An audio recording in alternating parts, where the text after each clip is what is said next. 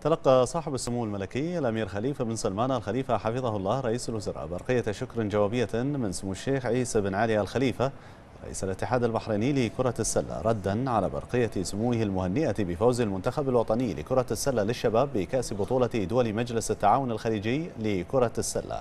هذا نصها. صاحب السمو الملكي الوالد العزيز الأمير خليفة بن سلمان آل خليفة حفظه الله ورعاه رئيس الوزراء الموقر. السلام عليكم ورحمة الله وبركاته.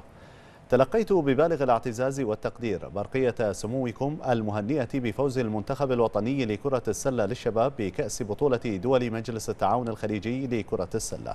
وما حملته من مشاعر طيبة ودعم وأسناد زاد على عزمنا عزما لمواصلة العمل لتحقيق المزيد من الإنجازات التي ترفع اسم البحرين في المحافل الدولية.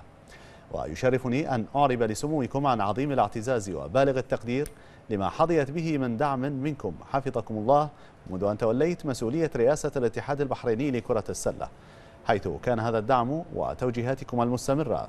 قبس النور في طريق نحو التطوير الشامل للعبة كرة السلة والارتقاء بالفئات الشبابية وتأهيلها لتكون قادرة على المنافسة إقليميا ودوليا وأن تعزز الصدارة البحرينية في هذه اللعبة الجماهيرية.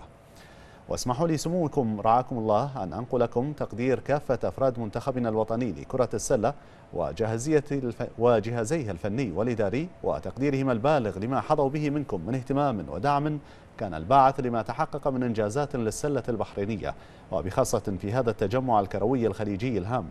معاهدين سموكم على بذل المزيد من العمل والجهد لتطوير كرة السلة وترسيخ اسم البحرين في مقدمة منصات التتويج. وأسأل الله أن يديم سموكم ذخرا وسندا للوطن وشعبه.